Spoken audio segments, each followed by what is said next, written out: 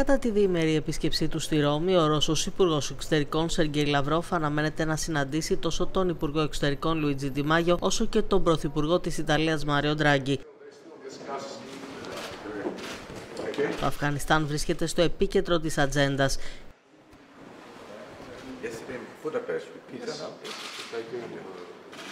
Η Ιταλία, η οποία ασκεί την εκπεριτροπής προεδρίας της G20, εργάζεται για τη διεξαγωγή μιας έκτακτης συνόδου κορυφής που θα πραγματοποιηθεί εδώ στη Ρώμη το Σεπτέμβριο πριν από την τελική συνάντηση που είχε ήδη προγραμματιστεί για τα τέλη Οκτωβρίου.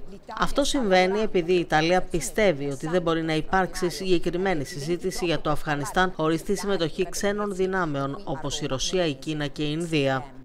L'Italia, il governo italiano è convinto che non possa esserci alcuna Ο Πρωθυπουργός της Ιταλίας Μάριο Ντράγκη είχε τις τελευταίες ημέρες τηλεφωνική επικοινωνία με ηγέτες συμπεριλαμβανομένου του Ρώσου Πρόεδρου Βλαντιμίρ Πούτιν, ο οποίος υποστήριξε τη δυνατότητα συζήτησης για τη σταθεροποίηση του Αφγανιστάν κατά τη διάρκεια της έκτακτης συνόδου κορυφής της G20. Οι δυο τους συζήτησαν επίσης για την παγκόσμια τρομοκρατική απειλή που έχει αυξηθεί μετά την κατάληψη της Καμπούλ από τους Ταλιμπάν. Ο Μάριο Ντράγκι έθεσε το ζήτημα και στην πρόσφατη σύνοδο κορυφής της G7. Το συζήτησε με τον Αμερικανό πρόεδρο Τζο Μπάιντεν, ο οποίος συμφώνησε με το ενδεχόμενο να διοργανωθεί μια νέα σύνοδος. Roma.